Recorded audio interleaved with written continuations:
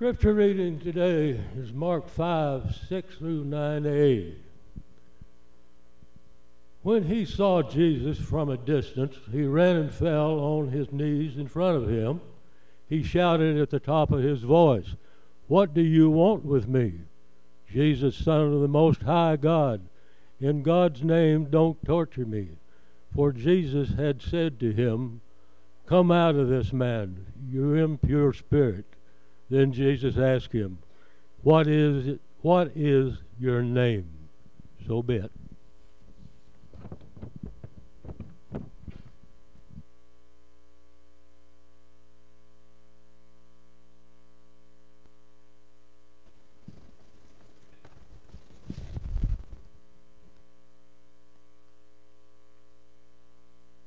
Bow with me in prayer.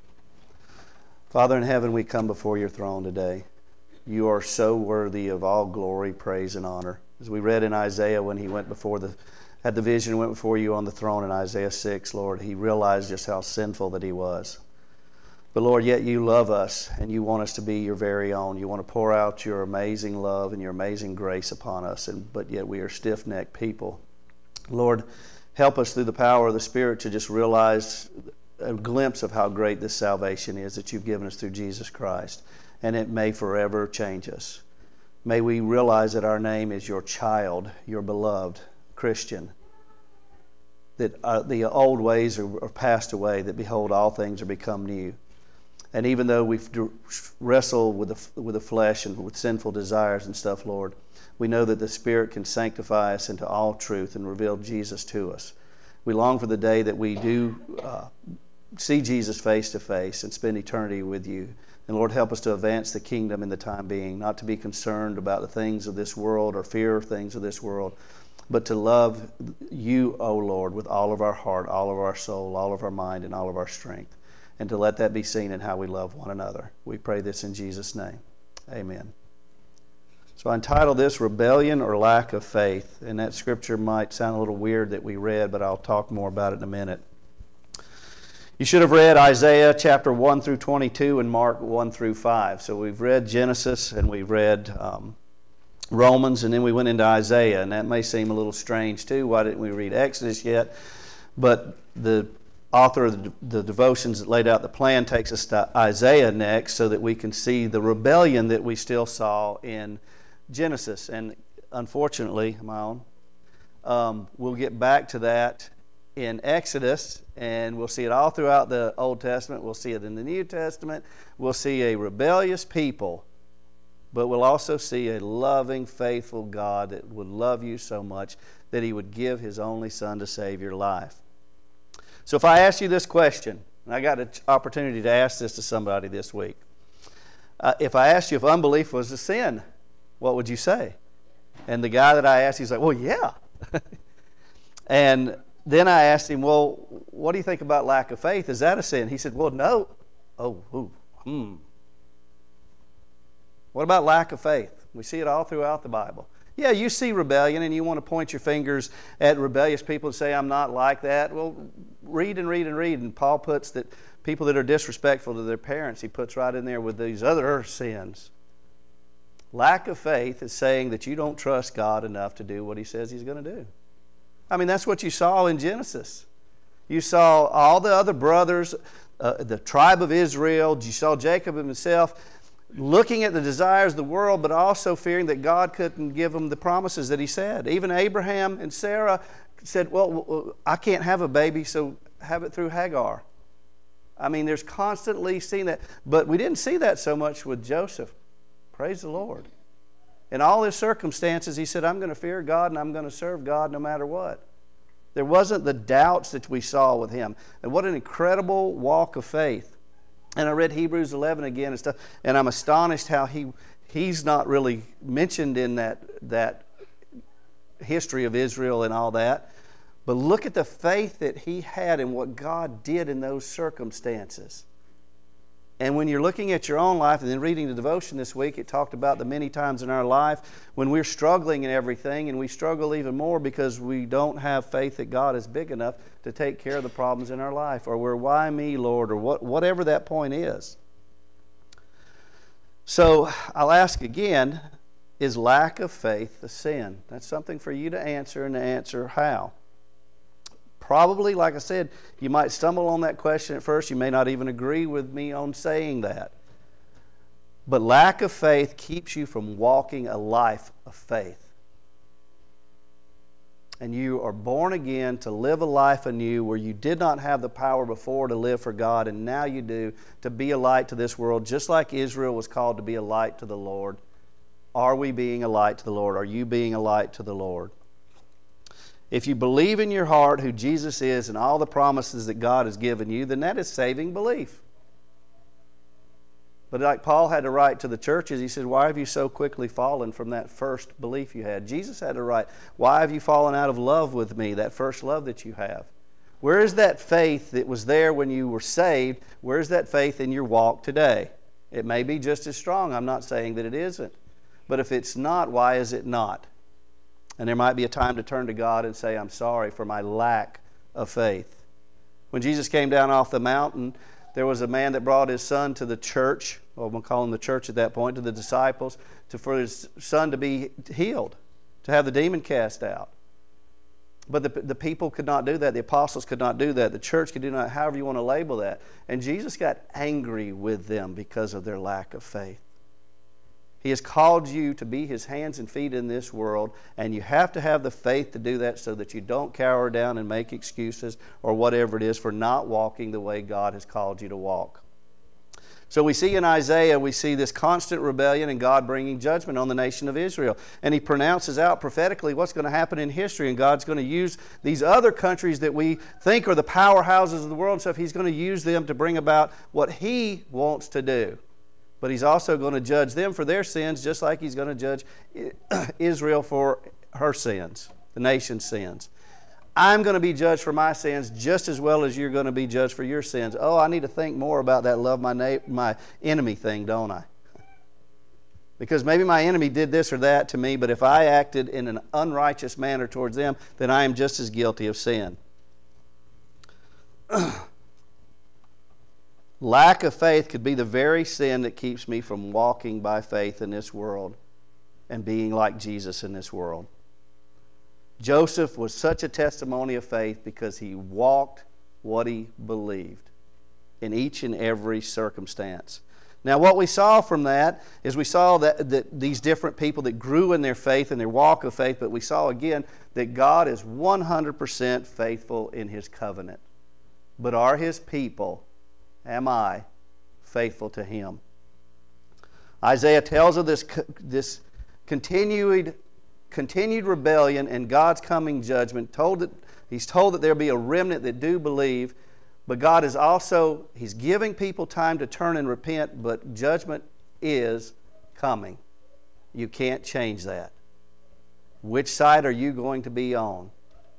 And Isaiah, I'm sure he felt like he was just spitting in the wind. And I can't even fathom going around in front of you naked telling you that God's judgment is coming. Cannot even fathom that. I think I would lack some faith there. Okay? I did do that one time. but God's calling here is calling to you to tell you to turn and repent. The sad thing is, there's not that many ears that will hear and obey. I want to mention a little bit to you about covenants because we've talked about some covenants to this point, and you have to understand this. You need to understand altars and sacrifices to understand what your life is supposed to be because you're supposed to be a living sacrifice. If you look up covenants in the Bible, you'll get that there's different numbers because it depends on what you call a covenant, whether it's spoken out loud and whether it's conditional or unconditional, but a covenant, uh, to remind you again, is stronger than a contract. It's an agreement that is not supposed to be broken. And if you go back and see the example, there is blood that is spilled here. It is a promise that two people are not supposed to break, two parties aren't supposed to break. And this is a covenant between God and His people. A conditional covenant says, if you do this, this will happen. An unconditional covenant says, God will never change that. It's unconditional. And when we started out with the story in, in Genesis, there was a conditional covenant that was implied there, although not said. If you don't eat from this tree, everything will be fine, you will live. If you do eat from this tree, death will come. And then right after that, we read again of a, a uh, unconditional covenant that's implied that there will be someone that comes that will take care of this problem. Jesus. We don't know it yet in the story or anything. And then we go to the point of Noah, and you might call that the Noahic covenant, or however you want to say it, where God says, I'll never destroy the world again by flood. And He gives us a sign of that in the rainbow. And then we have the stated covenant that Abraham would be the uh, father of countless generations, but you don't understand until you read the story further that not everyone who says they're Abraham is Abraham because they don't have his faith. His descendants may be numerous, but again, you're seeing in Isaiah that those who truly have the faith of Abraham are a remnant. And it took Abraham a long time to grow that faith, and it wasn't his own that did it, it was God living through him. And there was a promise that a Savior would come. There was an outward sign called circumcision, and you saw how that the sons of Jacob used that to actually murder people, that covenant sign. Then there is a stated covenant, um, a conditional covenant that if you obey God, you will live a blessed life. He gives blessings and cursings with Moses. There's a stated unconditional covenant with David that, that, that someone, uh, a descendant of David, would sit on the throne forever. We're pointing to Jesus again. Then you have the time that Isaiah comes and prophesies. Kingdoms have been set up, there are good kings and bad kings, but we have a stiff necked people who still will not follow God. They say that they will, but their lips profess it and their hearts are far from it. There's where we are in Isaiah. You know enough of the story because you're here today that there's an unconditional covenant, a new covenant, a new testament written in the blood of Jesus that whoever believes in him will not perish but have eternal life. But you also read in Scripture that if you do believe, that you will have works. Not that works justify or you save you, you're saved totally by your belief. But James says that faith without works is dead. Meaning you still live in your sinful state, you will die, and you will face God's wrath. Isaiah wrote some 700, 750 years before Jesus, and he wrote of continuing rebellion leading to God's wrath. So turn and repent before it's too late. Did Israel return and repent? Some. Is everyone that professes to be a Christian today, are they really like Christ? Some. It's not our point to judge or anything, but it is our point to be a light.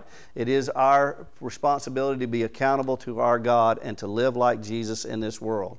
If you notice, all of those covenants point to a redemptive story. And then Jesus said, I'm going to heaven to prepare a place for you. You stay behind and you continue what I have started. And I'm going to say that again. You keep doing what I started. You, I called you, set you apart, a royal priesthood, my disciples, to continue this message to the world. So am I continuing this story to the world that people see God's love through me. Does my light shine because my heart is filled with Jesus, the light of Jesus, and He is stamping out all of the darkness so that I can be a child of light? I'm going to give you some definitions also. And I've given to you these before, you may know them. Pistis and pisteo. Those are two Greek words that talk about believing or faith. Pisteo is a verb, it's what you believe to be true, that God is able. It is saving belief. You are entrusted with it, you are committed to it. It's used 248 times in the New Testament in that form, and 239 of them are the word believe in the King James Version. A little different in the other versions. Pistis is a noun. It's conviction about what you do believe. So you see a little difference here. It's about your relationship with God, His relationship with you. It's about trust and faithfulness. It's about proof in the pudding, so to speak, as I said a little a few weeks ago. It's used 244 times and 239 times, exactly the same number in King James. It's, it's translated as the word faith. It's what you say that you believe that is proof because of the way that you live. I believe, therefore I walk by faith. So, where does lack of faith come in? Oh, Lord, please give me faith. Increase my faith so that I do not doubt and so that I do not hinder the advancement of the kingdom of heaven. Because I pray, Our Father who art in heaven, hallowed be thy name. Thy kingdom come, but yet I fight against it. Thy will be done, but I want my own will. And I could continue on. So, James, the half brother of Jesus, you remember him. If you translate his name correctly, not, well, I don't want to use correctly because then you'll say it's translated incorrectly. If you want to translate his name a little differently, it would be Jacob. Did you know that? oh, boy, that puts some new implications on things, doesn't it? How we struggle with our faith to become Israel, to be the faith of Abraham, to be put our faith firmly in Christ, that we could take our son up to an altar and sacrifice him because we have a strong enough faith, but we don't have to take our son up and sacrifice him because God already sacrificed his son which is the perfect sacrifice, which will take away all of our sins and clothe us with robes of righteousness. Jacob, a deceiver who has to be, learn to, instead of wrestling with God to get his way, to understand that no matter how much you wrestle with God, God is sovereign and going to have his way. So I'm thinking back to Isaiah and what Isaiah is saying.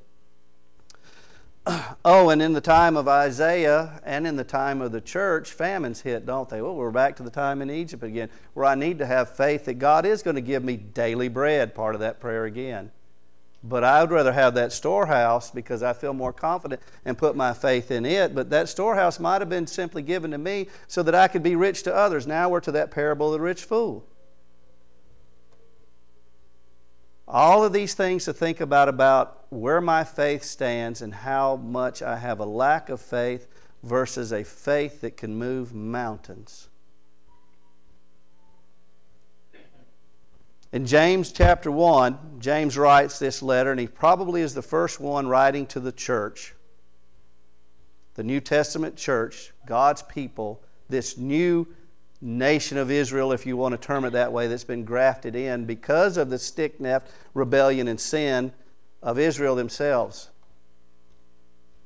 Grafted into God's family so that we can live as God's children, and the veil has been torn. We have direct access to God the Father through Jesus Christ the Son by His Holy Spirit living into me to cry out, Abba, Daddy, my Father. Wow. So, how am I using this to be more like Christ in this world? Hebrews says the Old Testament saints and prophets longed for the time that was coming. Jesus came, and we are living in the power of the Holy Spirit now if we're letting Him live through us. James chapter 1 James, a servant of God and of the Lord Jesus Christ, to the 12 tribes, to Israel, the ones scattered among the nations, greetings. And they're scattered among the nations this time because of suffering, but to spread the gospel message. They're not scattered across the nations because God's rebellion is coming and He's sent in conquering kingdoms. But there's still this picture of kings and kingdoms in this world, and we're to live for the kingdom of heaven, the kingdom of God, because we are His children. Scripture says we're already seated in the heavenly realms. Consider it pure joy, then, my brothers and sisters, whenever you face trials of any kind Verse 3 Because you know that the testing of your faith, pistis, produces perseverance. Hebrews 12 1 t- talks about perseverance. It says, Seeing all of the witnesses of the faith that we saw in chapter 11, let us run this race set out before us with perseverance. Back to James chapter 1, verse 4 let perseverance finish its work so that you may be mature and complete. Or your version may say perfect not lacking anything, that we're working to that point where faith overwhelms us so much that we can have that faith of Abraham, where nothing will stand between us and God. We trust Him. Verse 5 If anyone lacks wisdom, you should ask God, who gives it generously to all without finding fault. Ask Him to give you more faith, and it will be given to you. Verse 6 But when you ask, you must believe and not doubt. Pistis, faith. You must have faith that He is going to answer your questions, your concerns, your prayer requests, whatever it may be. But you've got to ask in faith that not wavering. Or, it says, because the one who doubts is like a wave of the sea, blown and tossed by the wind. That person should not expect to receive anything from the Lord. But yet he's still faithful to his covenant promises. He still loves you and pours out his grace on you. There's still sunshine and rain for the wicked and the righteous. Verse 8 Such a person that lacks faith, that wavers in his faith, is double minded and unstable in all they do. Because the guiding point, the compass that we have that saved us, faith, is not guiding us anymore as we walk through this world. Because the other concerns, the doubts, the fears, the desires we have, whatever they are that keep us from walking a life of faith. Skipping down to verse 12, blessed is the one who perseveres under trial, because having stood the test, that person will receive the crown of life that the Lord has promised to those who love him. You have no doubt of it. When tempted, no one should say, God is tempting me, for God cannot be tempted by evil, nor does he tempt anyone, everyone, anyone, excuse me. But each person is tempted when they are dragged away by their own evil desires and are enticed upon them. Verse 15 Then after desire, or yours might say lust, after it has conceived, after it has given birth, it then gives birth to sin. So that lack of faith, if you say lack of faith isn't a sin, I say it is. You don't have to agree, but it does lead to sin. Scripture tells you that clearly right here. It gives birth to sin. And sin, when it is full grown, when it grows up, because it's going to continue after conception to grow and grow and grow, or your faith is going to, one or the other, Sin leads to death. So, verse 16 do not be deceived, my dear brothers and sisters. Every good and perfect gift is from above, coming down from the Father of the heavenly lights, who does not change like shifting shadows. He chose to give us birth. He chose to give Alan birth. You can put your name in there. Through the word of truth, that we might be what? the kind of first fruits of all that He has created. And Jesus was the first, and we're to follow. We're to be like Jesus in this world. Verse 19 My dear brothers and sisters, take note of this. Everyone should be quick to listen, slow to speak, and slow to become angry, because human anger does not produce the righteousness that God desires. Therefore, wrapping together what James has said so far, this first letter to the church, because of the path that they are potentially going down, whatever the reasons are that he wrote it. Therefore, get rid of all moral filth and the evil that is so prevalent, and humbly accept the word that is planted inside of you, that word that will save you. Verse 22 Do not merely listen to the word and so deceive yourselves. Do what it says. So I ask the question again is lack of faith a sin?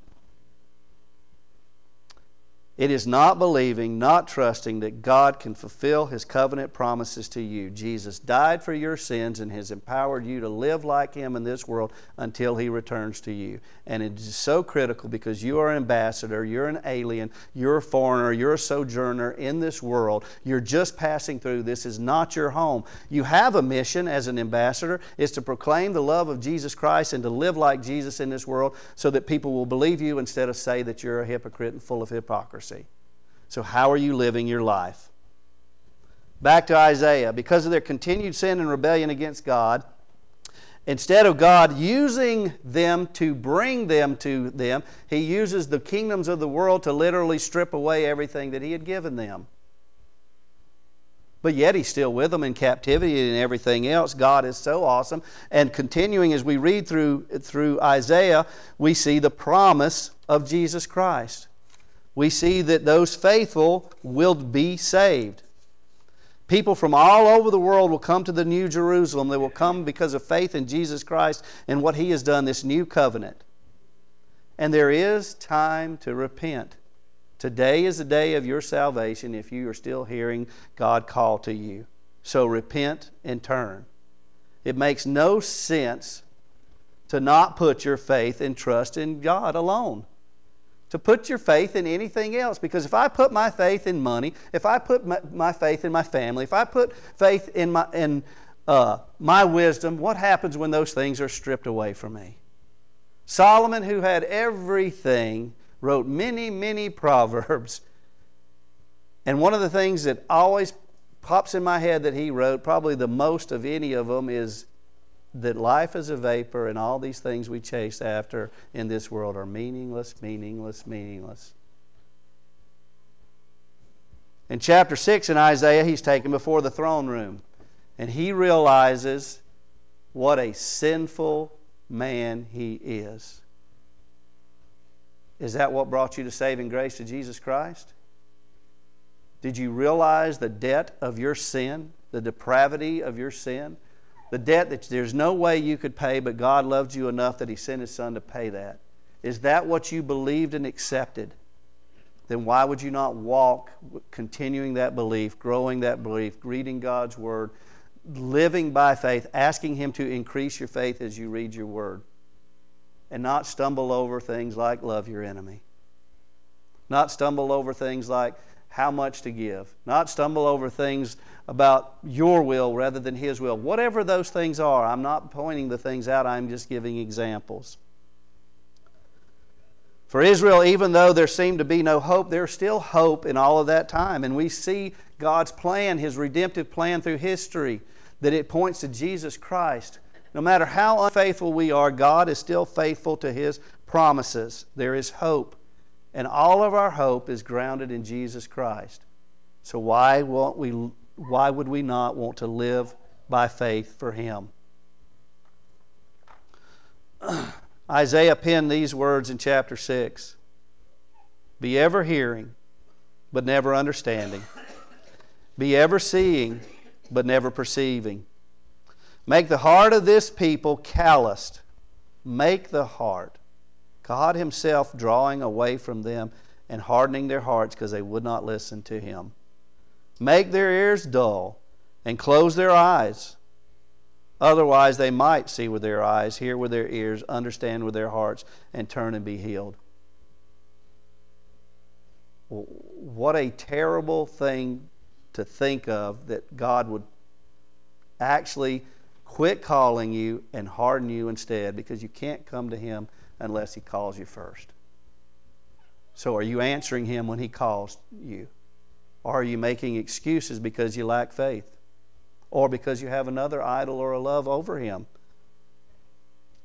You know, those words were quoted by Jesus in Matthew, Mark, and Luke.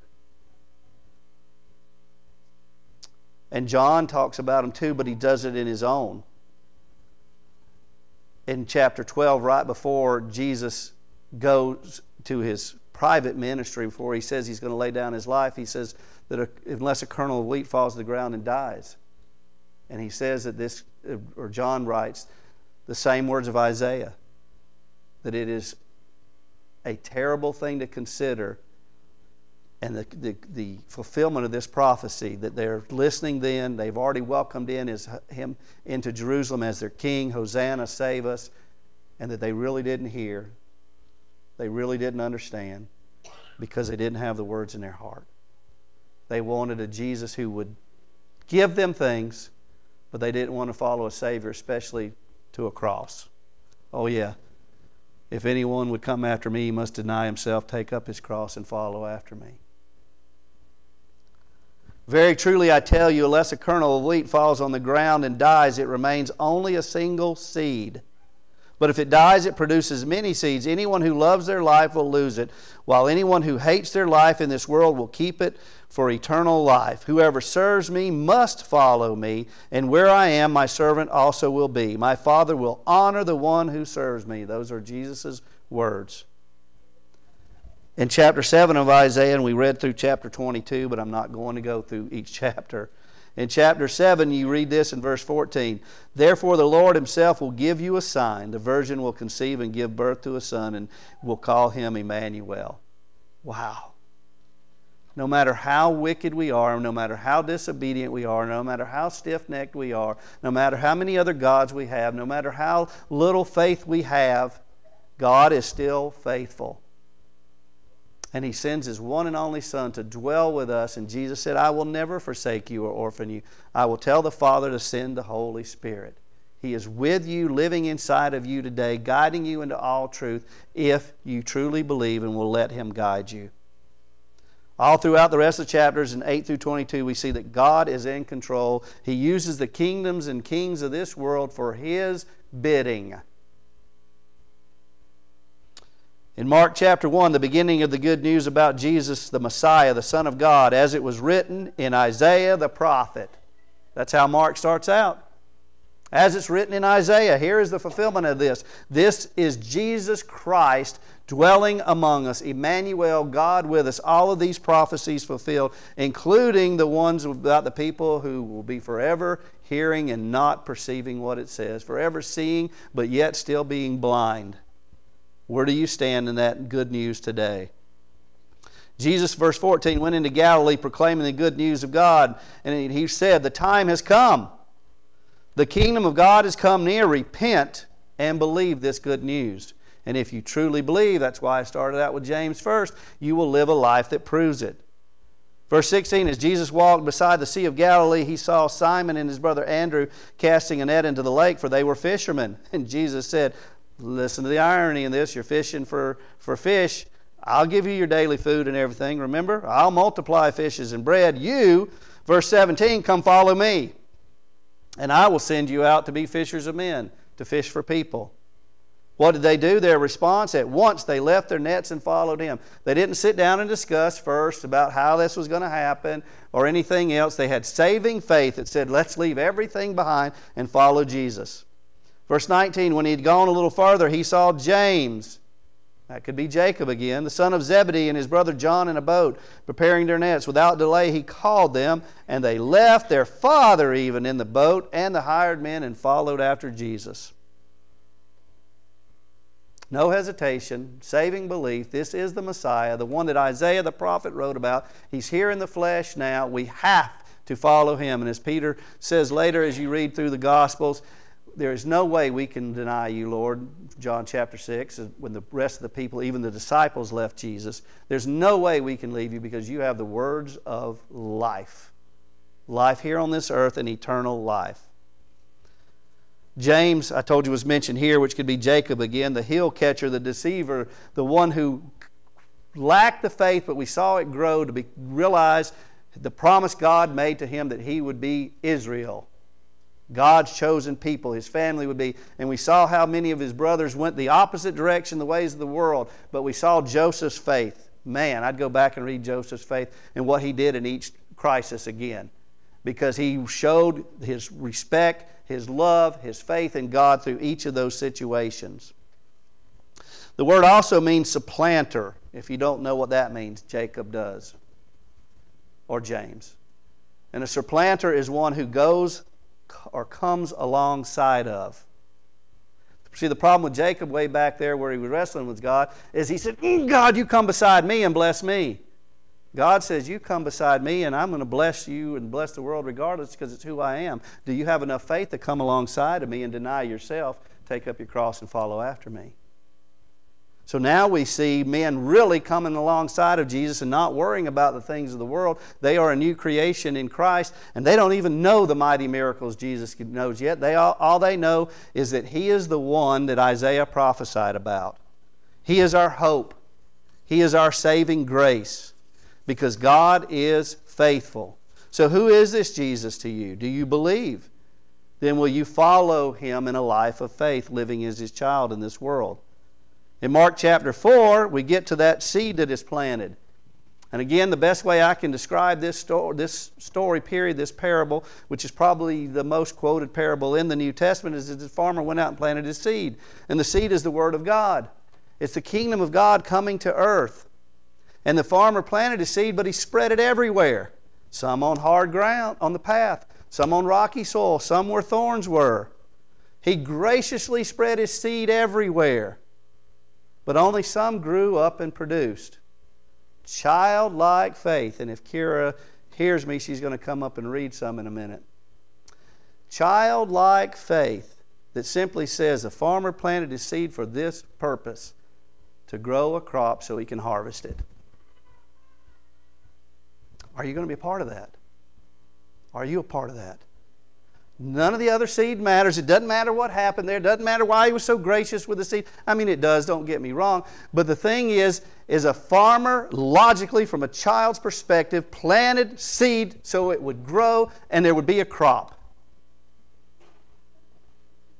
But he continues on and he says, This is what the kingdom of God is like in verse 26. A man scattered seed on the ground Night and day, whether he sleeps or gets up, the seed sprouts and grows. You don't do anything except be a part of it.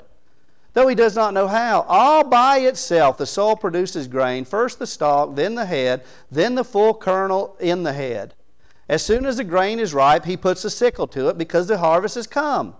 Again, he said, what, what shall we say the kingdom of God is like? Or what parable should we use to describe it? It is like a mustard seed, which is the smallest of the seeds on earth. When they are planted, it grows and becomes the largest of all garden plants. We don't know how the seed does it again. The power's in the seed. Uh, we're part of it, but it grows in the becomes the largest, this tiny seed, with such big branches that birds can perch in its shade. Birds, physical birds with a physical mustard seed, but he's talking about the kingdom of heaven Birds can come and what grows out of this seed because of the way we live to find food, shelter, rest, trust if you'll do it. If you'll live like Christ, you'll be his hands and feet in this world. You'll draw people into the kingdom. If not, you're a hypocrite. Woe, woe, woe. In Luke chapter 12, Jesus said to his disciples, Therefore I tell you, do not worry about your life, what you'll eat, or about your body, or what you'll wear. For life is more than food, and the body is more than clothes. Consider the ravens. we just talked about them. They don't sow or reap. They have no storerooms or barn, yet God feeds them. And how much more valuable are you than birds? Where is your faith? Who of you, by worrying, can add a single hour to your life? Since you cannot do this very little thing, why do you worry about rest? Consider how the wildflowers grow also. They don't labor or spin, yet I tell you, not even Solomon in all of his splendor was dressed like one of these. Is that if that is how God clothes the grass of the field, which is here today and tomorrow is thrown into the fire, how much more will he clothe you, you of little faith? And do not set your hearts on what you will eat or drink or worry about it, for the pagan world runs after such things, and your Father knows that you need Him. But instead, seek His kingdom first and these things will be given to you as well. Do not be afraid, little flock, for your Father has been pleased to give you the kingdom. See how this ties together with Israel. See this redemptive story of God's covenants and His grace. See a people who were stiff necked and rebellious, but you don't have to be. All you have to turn is say, Father, forgive me of my sins. Jesus, come and live in my heart, live through me, empower me, help me not to fear, increase my faith so that I can be the hands and feet of Jesus in this world. Oh, Jesus went on to say, Sell your possessions and give to the poor. So you wouldn't even have that burden. Provide purses for yourself that will not wear out, a treasure in heaven that will never fail, where no, where no thief comes near and no moth destroys. For where your treasure is, there your heart will be also. Be dressed ready for service and keep your lamps burning, like servants waiting for their master to return you want to read? You do or don't? You don't want to read your book? I'll read, read or I'll sit beside it. You want to read it? Come on, read it to me. Because you said you wanted to. Do you not want to? You want me to read it? Don't you want to read it to everybody? Okay, do you want me to read it to everybody? You came and shared it with me yesterday. You want Cameron to read it with you?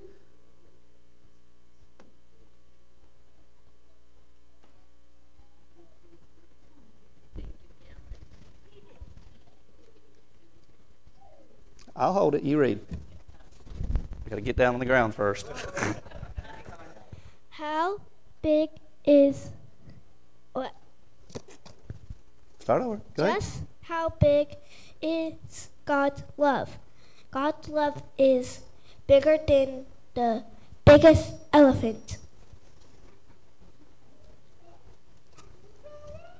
Brighter than the brightest shining as sun, deeper than the deepest ocean.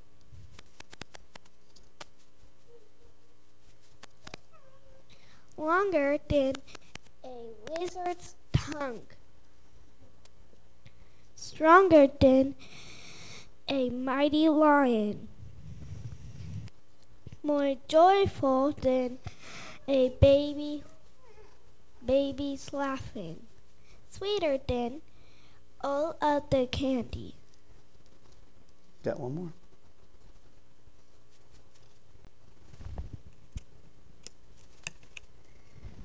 Taller than a giant giraffe.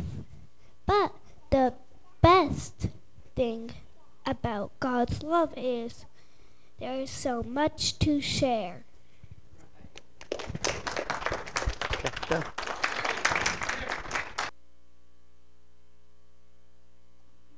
So when I was finishing my sermon, she come up and said, "Let me tell you this," and read that to me.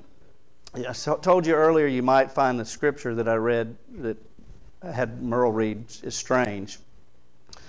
When you read that story, sometimes you look at all these other things and you don't look at yourself where you stand in the picture. You know the story from Mark chapter 5. Hopefully you read there, and that's where you should have read to. There's this man, men, if you read, there's two men, maybe more than two, because when you read Scripture, realize that. We know there's one man, but another gospel says there's two men, so there could have been ten men. But we know there's one for sure. Oh, we know there's two for sure. Same way when you go to the tomb, so don't look for discrepancies there. But Mark talks about this one man, which makes me think about this one man. And Jesus has not come to him. But when he sees Jesus, he runs to him and he worships him. He's possessed by a legion of demons, a fighting force too numerable to count. Surely that is too great of odds for me to overcome. And it is for me, but not for Jesus. So when he sees Jesus, oh, let me just read it, verse 6. When he saw Jesus from a distance, he ran and fell on his knees in front of him. He shouted at the top of his voice, He, the man, not the demons, what do you want with me, Jesus, Son of the Most High God? In God, God's name, don't torture me. Was this the legion of demons talking, or was this the man talking, or both? The man comes running at Jesus' feet and falls in front of him. That's worship. The man in his desire, in his desperate situation, all else failed. I can't take it anymore, God comes running and falls at Jesus' feet with something that's way too big legion of demons. And I can't even speak because the legion of demons shouts out instead. He knows how sovereign God's, God is, and he knows Jesus is the Son of God. And he says, Don't torture me now because my time hasn't come. I know all of God's plans, I know what's going to happen to me, but I'm going to wreak havoc in the time being. I take over this man's voice where he can't even speak. Verse 8 for Jesus had said to him already, that's in the past tense. I don't know if Jesus said it before he got to that side of the lake. I don't know if he said it when he saw the man. But Jesus already said to the demons, Come out of this man, you impure spirit. Then Jesus asked, What is your name? Well, the conversation goes on and he says, Legion of demons. But what is my name? When I come running to Jesus in saving faith and say, Jesus, you are enough, I know who you are. What happens after that in my walk of faith? Do I forget my name as a child of God, as blessed? And then do I go back and fall in those same patterns? The world didn't want him at that time. He took away their livelihood. The pigs ran into the, into the sea and drowned. So they wanted Jesus to get out of there. And that man said, I want to come with you too. I want to go home. I'm ready for heaven now. But Jesus said, Nope, your place is to stay here and be the hands and feet to this nation to these people, the ones who don't want me, who will mock you, who will persecute you, who may crucify you. But I'm leaving you behind to be my hands and feet. What is your name? Is it Christian? Or is it somebody who lacks faith and will sit beside and let the world go on and won't proclaim the message of God and won't live like a, a child that belongs to the kingdom of God because you have other idols or you fear what will happen to you? Our Father who art in heaven, hallowed be your name. Thy kingdom come, thy will be done. Give us this day our daily bread. Forgive us of our trespasses as we forgive those who trespass against us. And lead us not into temptation, but deliver us from evil. For thine is the kingdom and the power and the glory forever and ever. Amen. Do I believe this and will I walk this?